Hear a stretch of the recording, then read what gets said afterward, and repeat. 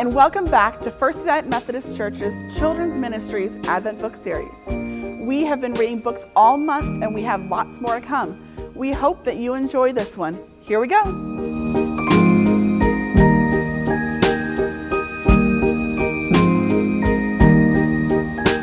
Hi, my name is Nicole Louis. Uh, I've been a member of this church my whole life. I'm a member of the choir as well.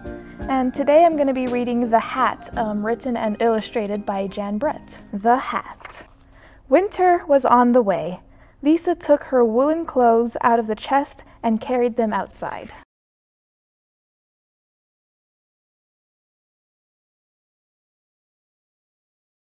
She was hanging them up in the fresh air when a strong wind blew one of her stockings off the line. Curious Hedgie found it and poked his nose in. When he pulled it out, the stocking was stuck on his prickles. How embarrassing, Hedgie thought. The mother hen came by with her chicks. Cackle, cackle, she clucked and laughed. What's that on your head, Hedgie? Why, it's my new hat, he told her. Isn't it beautiful? The mother hen cocked her head as if she had an idea, and off she ran.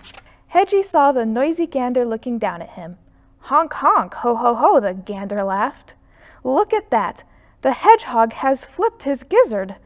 Laugh today, gander, but tomorrow when it rains, my hat will keep me dry.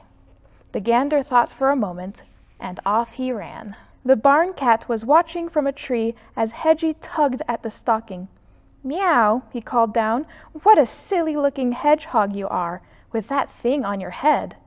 But my ears will be warm in a snowstorm. Hmm, purred the cat. And off he ran. The farm dog and her puppies found Hedgie in a patch of brambles. Hedgie, is that a hat you're wearing? How funny you look, she barked, and her puppies yelped and giggled. But I'll be cozy and dry when it snows, Hedgie said. The farm dog's ears perked up, and off she ran. Oink, oink, the piglets squealed. What are you up to, Hedgie? the mamma pig asked.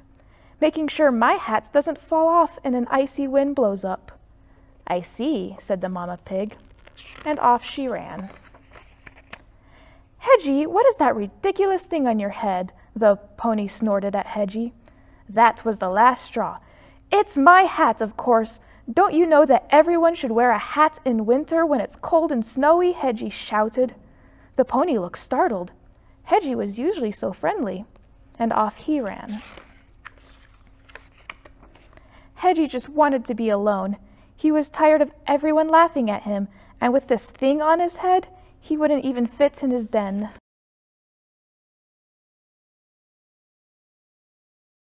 He didn't see Lisa running after him, the other stocking in her hand. Come back, you silly hedgehog, she called. Oh no, Hedgie thought.